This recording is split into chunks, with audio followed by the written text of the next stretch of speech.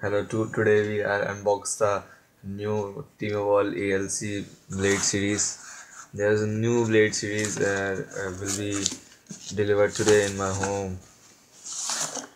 That is two um, Timo Boll ALC. This is not a full uh, unboxing, but uh, this is half unboxing. There's some garbage are thrown throw in the dustbin, so that's why there's a new Team Timo Boll ALC package there are some changes in new development in series.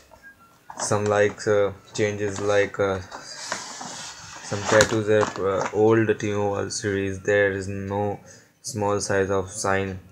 Uh, there is a last sign of uh, in uh, old Timo Boll series and butterfly logo and here in this bottom. And here same as the old Timo Boll series and this is new. There is a butterfly tag. Here's butterfly tag. There is a new change in new butterfly Timo Boll ALC series. In uh, old blade series there is a, a logo here in a Timo Boll blade series and there is the old old uh,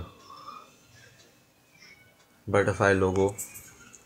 This is a very good side and there is a unbox of new Timo Boll series. Thank you